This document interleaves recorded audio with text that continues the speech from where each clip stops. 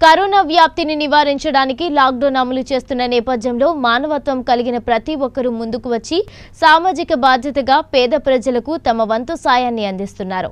నెల్లూరు జిల్లా కావలికి చెందిన ఎస్ఏ చారిటబుల్ ట్రస్ట్ పరివర్తన స్వచ్ఛంద సేవా సంస్థలు కూడా ముందుకు వచ్చి ఆపన్నహస్తం అందిస్తున్నాయి.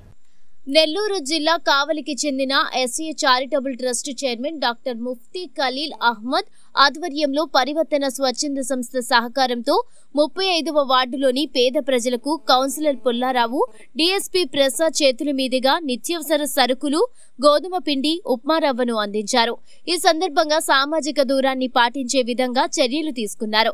దీంతో దీని పట్ల ప్రజలకు అవగాహన కలిగించినట్లు అయింది. ఈ సందర్భంగా కౌన్సిలర్ పుల్లారావు ట్రస్ట్ సభ్యులకు ధన్యవాదాలు తెలిపారు. కావలి డీఎస్పీ ప్రసాద్ మాట్లాడుతూ ఈ ట్రస్టు యాజమాన్యం ఒక కొత్త ఆలోచన విధానంలో సరుకులను అందించడం విశేషంగా భావిస్తున్నానన్నారు. మనస్ఫూర్తిగా ట్రస్ట్ సభ్యులకు ధన్యవాదాలు తెలుపుతున్నట్లు చెప్పారు. ఈ కార్యక్రమంలో పరివర్తన స్వచ్ఛంద సేవా సంస్థ వ్యవస్థాపకులు రెహమాన్ సిబ్బంది పాల్గొన్నారు.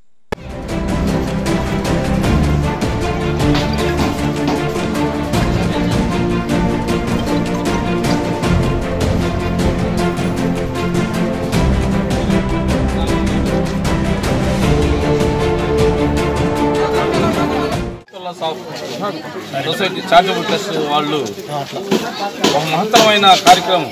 అంటే మనిషిలో కొంచెం ఎవరు తెలివిగల వాళ్ళు కాదు ఎవడు మేధావి కాదు అని చెప్తాను ఇది ఒక నిదర్శనం. ఏంటంటే నేను ఒక టూ హండ్రెడ్ నుంచి టూ ఫిఫ్టీకి వెళ్ళాను. టూ ఫిఫ్టీ నుంచి ఈరోజు త్రీ ఫిఫ్టీన్కి మార్నింగ్ ఇచ్చాను. ఫోర్ ఫిఫ్టీన్కి వచ్చింది. అంటే చేయటంలో కూడా అంటే నేను ఊహించింది నేను కొన్ని చెప్తూ వచ్చాను. ఆ ప్రజలు కొన్ని చేస్తూ వచ్చారు. కానీ వీళ్ళు ఈ చారిటబుల్ ట్రస్ట్ వాళ్ళు గోధుమ పిండి ఇవ్వాలనే ఒక థాట్ని తీసుకొచ్చారు. దానికి గోధుమ పిండిని ఇద్దాము. మళ్ళీ అదేగానే రవ్వ. రవ్వ. ఒకటి ఉప్మా రవ్వ కూడా ఇచ్చి నాలుగు వందల పదిహేను రూపాయల ప్యాక్ని చేసి దాదాపుగా ఒక ఎనభై తొంభై మందికి ప్యాకెట్స్ తయారు చేసి ఊరు పేదల పేదలకు ఇవ్వాలి. అదొక వన్ వీక్ టెన్ డేస్ చిన్న ప్రోగ్రామ్ లాగా నడిచేది ఇవ్వాలి అనే ఒక కాన్సెప్ట్ మంచి ఉద్దేశంతో చేసిన నాకు ఈ అదృష్టం కల్పించిన చారిటబుల్ ట్రస్ట్ అందరికి కూడా ధన్యవాదాలు.